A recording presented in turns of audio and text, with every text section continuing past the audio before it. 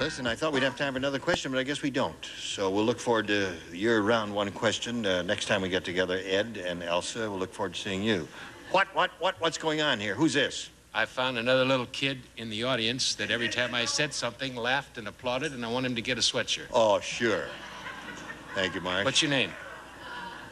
What's your name? Bobby. Huh? Bobby. Bobby. Bobby. How old are you, Bobby? Colic on Bobby. Eight. You're eight years old? Who dyes your hair? Bobby slipped on his hair wrong. Where, where, what town do you live in, Bobby? Gardena. Gardena. Really good interview, Gene.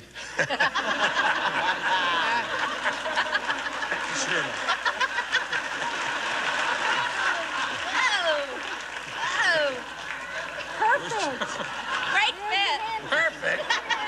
great fit. Perfect. It's 87 sizes too big for him. What do you mean, perfect? Not all that bad. Come on. You're This making a kid look like a bum. What are you doing to this sweet child here?